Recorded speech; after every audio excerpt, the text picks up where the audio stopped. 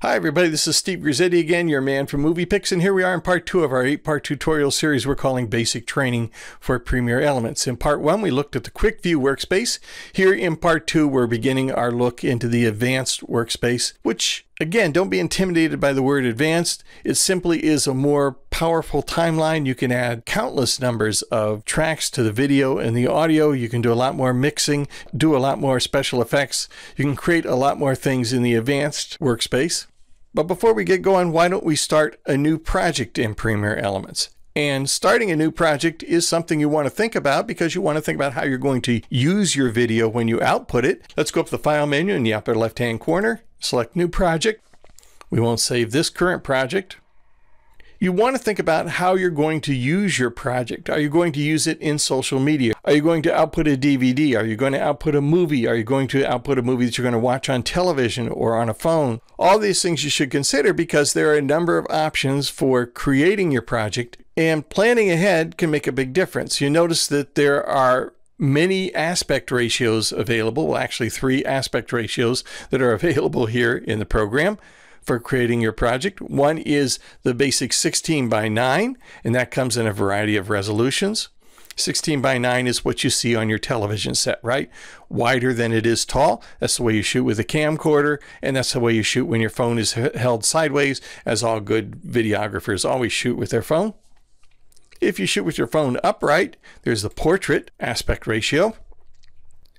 And if you create video for social media sites, maybe you want to create a square video, and here you've got some options for doing that also. If you aren't quite sure what the dimensions are that you want to use, just go over here to the social media drop-down menu and select how you're going to use your video, and it will automatically create your video in the proper aspect ratio. Now you notice right down here at the bottom of this screen, it says force selected project preset to this project.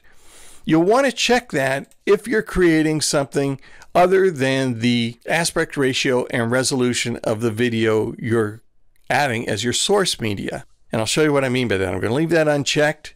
I'm going to go ahead and create a video that's taller than it is wide. And I'm going to name my project, let's call it Planes. And now we'll add my media, and this is media shot with the camcorder. It's 16 by 9, 1920 by 1080.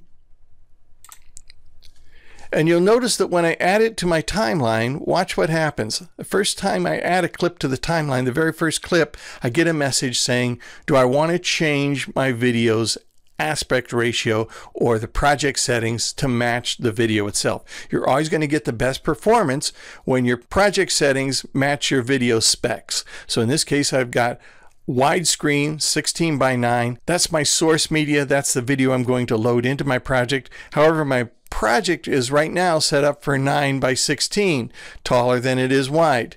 I'm going to select the option to change the sequence settings and now my project settings are automatically matched to my video specs. I'll get the best performance and the best quality output from this.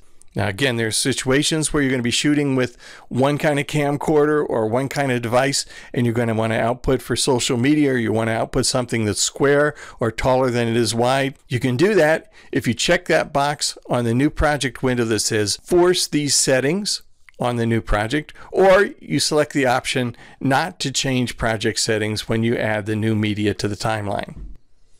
These little windows that pop open, by the way, can be resized if you'd like. You can reshape them.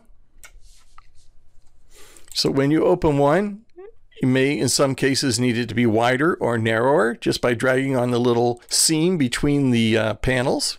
And in some cases, you can actually, for instance, the timeline, if I hold down the control key or the command key on a Mac, I can actually drag it right out of the workspace. And if I've got two monitor panels, I can spread this out among two monitor panels and spread all of my windows out and create a custom workspace. If I get too lost by creating too many floating windows, all I need to do is go up to the window menu at the top of the panel and select restore workspace and it puts it back to its default setting.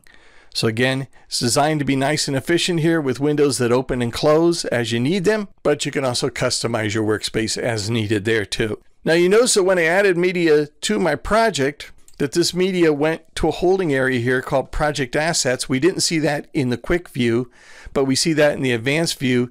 This is much more like a professional video editor. As the media is added to your project assets panel, you create a library and then you drag that library down here to the timeline to create your movie. And in our next session here of our eight part series, we're going to take a look at how to use this timeline, how to place our video on the timeline, how to rearrange it, and then how to insert and trim our media clips.